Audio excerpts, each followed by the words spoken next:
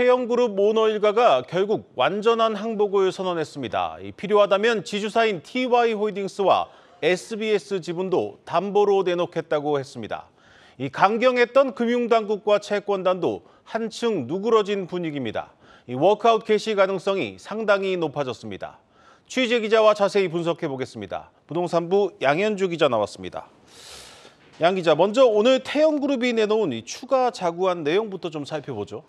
네, 태영그룹은 오늘 오전 11시 태영건설 여의도 사옥에서 기자회견을 열었습니다. 네. 윤세영 태영그룹 창업회장과 윤성민 태영그룹 회장이 오너 일가가 참석해 입장문을 발표했는데요. 윤 창업회장은 태영건설 워크아웃 신청과 관련해 이 채권단 지원만 바라지 않고 자구 노력을 충실하게 이행하겠다 이렇게 말했습니다. 네. 그러면서 앞서 발표한 네 가지 자구 계획 어, 이외에 부족한 것이 있다면 지주회사인 TY홀딩스와 SBS마저 지분을 담보로 잡겠다라고 밝혔습니다. 이와 관련해서는 인터뷰 먼저 들어보겠습니다. 태영건설 워크아웃 신청으로 채권단과 정부 그리고 국민 여러분께 심려를 끼쳐드린 점 이 자리를 빌려 다시 한번 사과의 말씀을 올립니다. 지주회사인 TY홀딩스와 SBS 주식도 담보로 해서 태영건설을 꼭 살려내겠습니다. 네, 아들인 윤성민 태영그룹 회장도 고개 숙여 사과를 한 뒤 비슷한 내용의 입장문을 발표했습니다. 다만 태영그룹은 기존 자구안의 이행으로 유동성 부족 문제가 해소되지 않을 경우에 지분 담보가 이루어질 것이라는 전제 조건을 붙였습니다.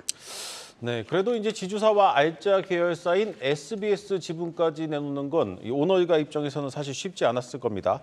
그래서 그동안 이 태영그룹 측이 좀 이제 버티기로 일관을 했는데 이 전향적으로 나선 배경은 무엇일까요?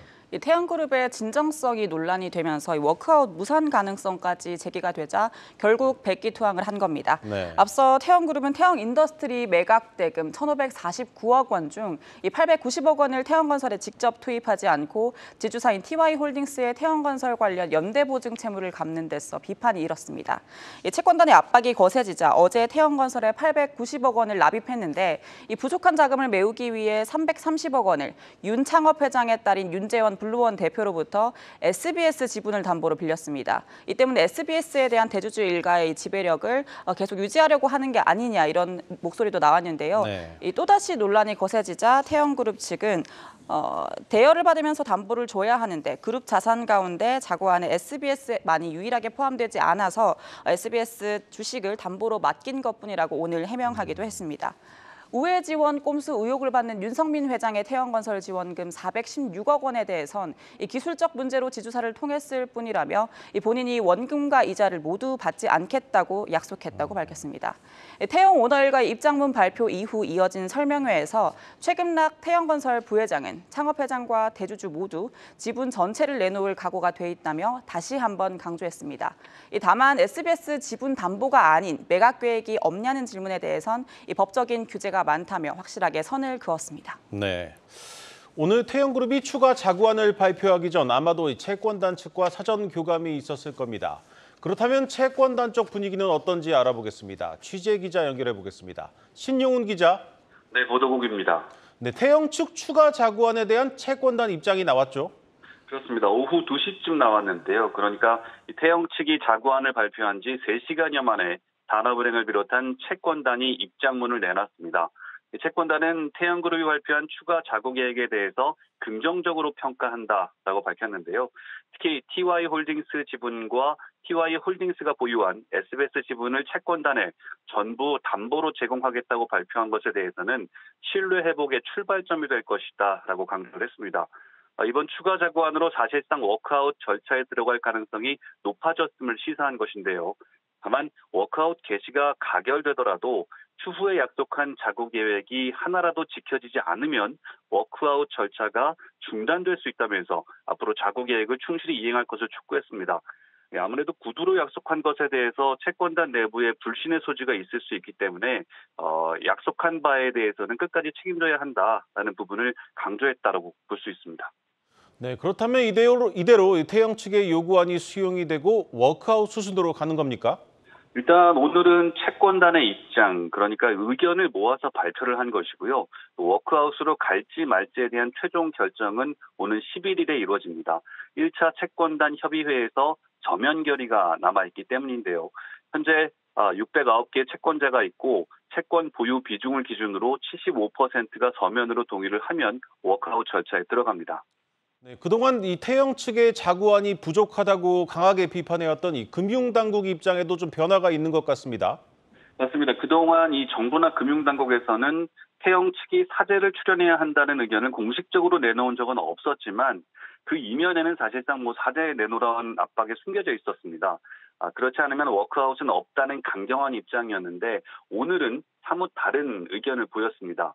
어, 익명을 요구한 한 금융당국 고위 관계자는 한경TV와의 통화에서 오늘 태영 측이 내놓은 안을 보면 워크아웃 가능성이 많이 높아진 것으로 본다. 아, 그리고 TY홀딩스와 SBS 지분을 담보로 내놓겠다고 한 것은 오너일가로서는 최선을 다한 것으로 봐야 한다라고 말을 했습니다. 어, 앞으로 태영 측이 또 추가적인 자구안을 내놓을 수도 있겠지만 지금으로서는 가능한 수단을 모두 동원했다는 점을 인정한 셈입니다. 네, 이 금융당국도 태영 측의 적극적인 자구 의지에 좀 화답을 하고 있습니다. 이복현 금융감독원장은 태영건설 워크아웃에 대해 이 채권단의 폭넓은 지원을 주문하면서 채권단의 의사결정에 대해 사후 책임을 묻지 않겠다고까지 했습니다. 워크아웃 개시 가능성이 상당히 높아졌습니다. 이 내용은 김보미 기자가 보도합니다. 태영건설의 본채무가 일단 절차에 따른 어, 공동개시 절차 결정 여부에 기대어 지금 유보되어 있는 상황에는 최소한 그 정도 기간에는 보증 채무는 함께 이제 같이 고려하는 게 더 합리적이지 않은가. 이복현 금융감독원장은 채권단의 보증 채무 청구가 그룹의 유동성을 어렵게 만드는 것은 워크아웃 정신에 맞지 않는다고 말했습니다. 태영건설의 본 채무와 관련해 태영그룹 지주사인 TY홀딩스가 갖고 있는 3,200억 원 규모의 연대 보증 부담을 채권단이 잠시나마 덜어줄 필요가 있다는 의미입니다. 태영건설 워크아웃 여부를 결정하는 제1차 채권단 협의회를 이틀 앞두고 금융당국 입장에도 분위기 변화가 감지되고 있는 겁니다. 금융회사에는 보증 채무 유예와 관련해 사후 책임을 묻지 않겠다고 약속했습니다. 청구 요건이 지금 발동된 상황에서 그 청구를 안 하게 되면 자기의 책임의 문제가 있기 때문에 그에 대해서는 저희가 문제가 생기지 않도록 비조치 의견서 발급이라든가 내진 당국으로서 저희가 할 수 있는 여러 가지 노력을 해주겠다는. 다만 태영건설과 오너일가의 진정성 있는 노력이 지속될 것을 전제 조건으로 달았습니다. 이 원장은 부실 PF 사업장에 대한 신속한 구조조정 의지도 내비쳤습니다. 부동산 호황에 대한 막연한 기대감에 구조조정을 미루는 금융사가 있다면 엄중 대응할 것이라며 부실 PF 사업장 정리에 속도를 내달라고 주문했습니다.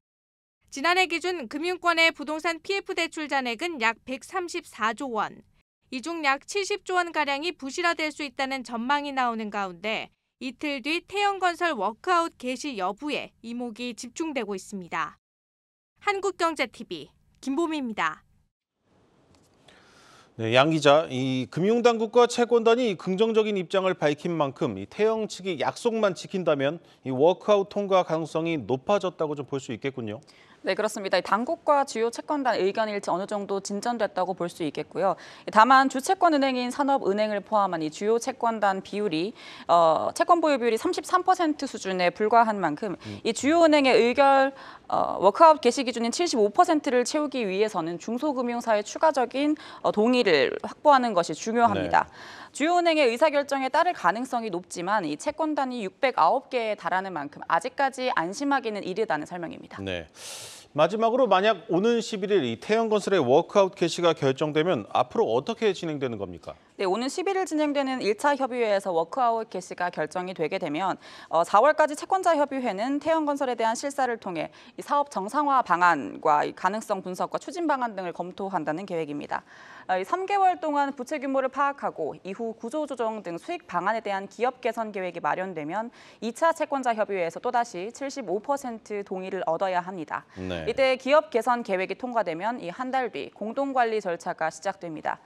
법정 관리라는 최악의 상황을 벗어난 만큼 이 주요 사업장의 유동성에 숨통이 트이고 이 협력사들과 아파트 입주 예정자들의 우려도 어, 당분간 해소될 것으로 전망됩니다. 네, 잘 들었습니다.